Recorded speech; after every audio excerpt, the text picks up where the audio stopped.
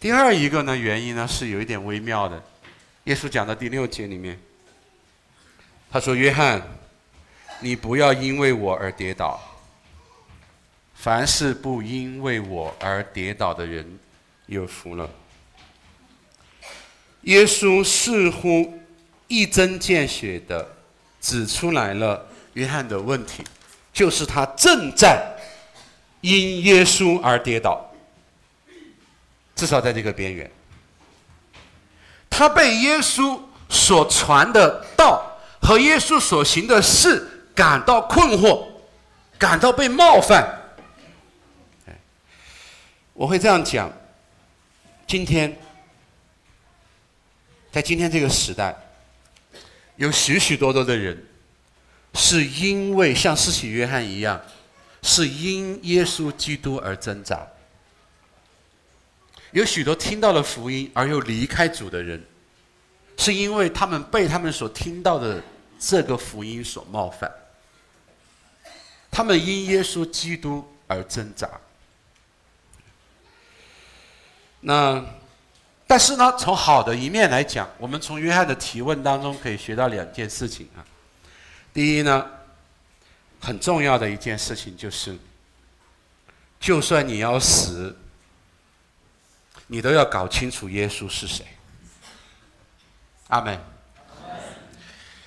从约从约翰的这一个提问里面，我要对各位，特别是来听福音的朋友说：这辈子让你死不瞑目的那件事到底是什么？是你的，是你生命当中的一些的困难吗？是你是你身体上的疾病吗？不是的。在武侠小说里面，有人被暗算了，然后最后一一口气之前，最后问了最后一个问题：你你到底是谁？他要知道杀死他的那个人到底是谁。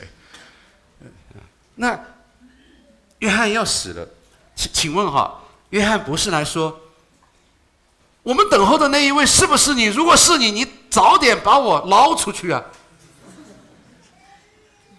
约翰不是这样问的吧？约翰到了要死了，他最关心的事情不是他到底会不会死，不是他会不会被救出来，而是你到底是谁？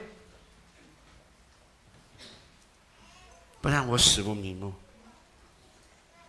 不然我不知道我做这一切为什么，不然我的人生就失去了意义，我的挣扎就失去了意义，我的服饰就失去了意义。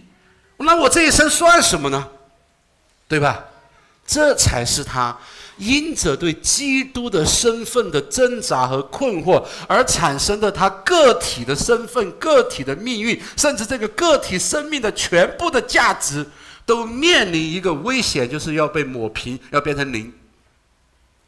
这是他不能够接受的，他不能够接受这一点，远远超过他不能接受他会死。可以接受他死，他可以接受他得癌症，他可以接受他失业，他可以接受雾霾，但是他不能接受这件事，所以他死都要拖个人出来，一定要问这句话。前段时间有个弟兄他来问我，关于他们婚姻当中的挣扎，最后他问了问了我一个问题，我称这个叫做约翰式的提问啊，他就说。他说：“我在婚姻当中忍耐，我可以忍耐，但是在这种忍耐的最后一这一切的意义到底是什么？也许直到最后那一天，他说我的妻子还是现在这个样子。